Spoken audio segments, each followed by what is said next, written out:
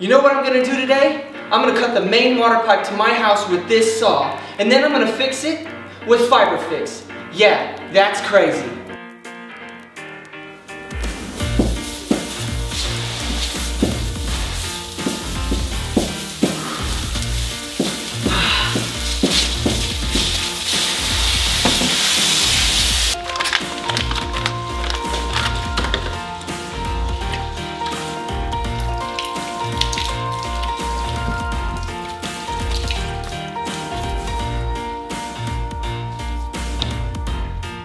Good as new.